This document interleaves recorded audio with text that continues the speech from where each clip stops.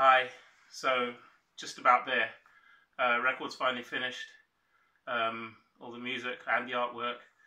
Um, just waiting for it to come back and preparing for the tour. It's been um, a mammoth year, really. Um, right from writing in the studio in Berlin to the tour, trying it out. Um, and it's been amazing having all that support from fans and friends. Um, I feel actually quite apprehensive because um, I put a lot into this, and um, actually, I, I, actually almost felt like maybe it was too personal this time.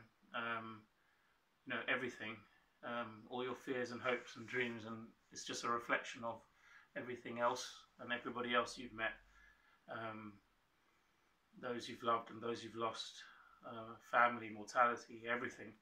Um, and right back to the roots in spoken word. Um, with the lyrics right at the front. Um, in Berlin, I live in a high rise which used to be part of the, you know, these famous sort of communist blocks. And um, there was a, an old lady who I just used to meet sometimes doing her flowers. She was very grumpy, and I tried to say good morning to her each time, and she sort of grump, begrudgingly sort of moaned back something back. And I was determined each day I saw her, I'd, I'd, I'd, say good morning a little bit more cheerfully. Um,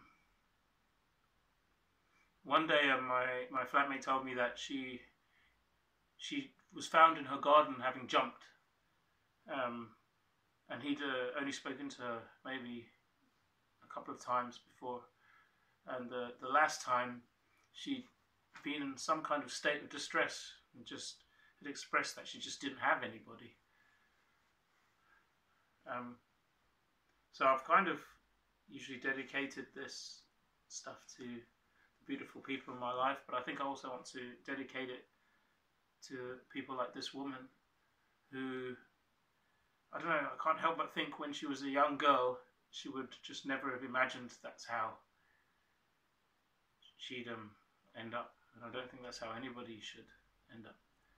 And I, I always think it's funny that, not funny haha, funny weird that um,